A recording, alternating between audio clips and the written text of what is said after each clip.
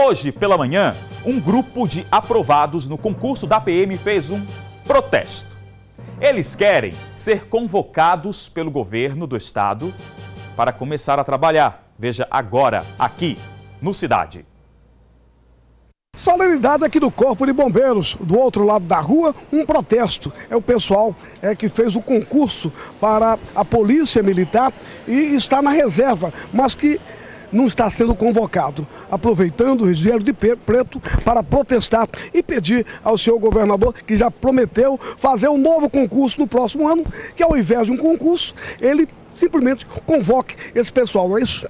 Positivo. Nós estamos, inclusive, aguardando é, uma resposta de, um, de uma nova reunião que nós estamos pleiteando com o governador, para dentro dessa oportunidade nós propomos a ele que ao invés de fazer um novo concurso, reaproveita essa reserva técnica de 6 mil homens que acredito, acreditamos que traria mais benefício, mais agilidade para a composição dos quadros da Polícia Militar, no qual é, precisa, no caso, está sendo feita essa manutenção. E esses homens todos estão classificados, podem ser é, requisitados?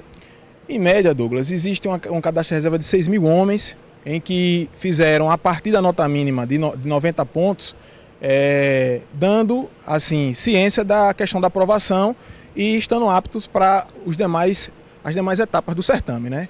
E dentro dessa oportunidade, nós estamos aqui pedindo né, encarecidamente ao governador Jackson Barreto que nos receba né, para que dentro dessa situação a gente possa sentar e mostrar as propostas né, diante da situação e ver o que ele é, poderia é, fazer por nós. Sabemos que ele é uma pessoa de boa intenção e estamos aqui com ele junto para resolver, é, ajudar a resolver essa, essa questão da, da, da, segurança pública. Até porque em tempo de crise é melhor convocar o pessoal do que fazer um concurso, porque vai onerar ainda mais o Estado. Sem, sem dúvida, né? sem contar que é mais rápido, afinal de contas existe um cadastro de reserva, só ele dá a oportunidade de realização de um novo TAF e, se possível, assim, seguir os parâmetros do edital para que assim sejam selecionados e no futuro próximo está sendo ingressado no corpo de soldado, no caso da Polícia Militar do Estado de Sergipe.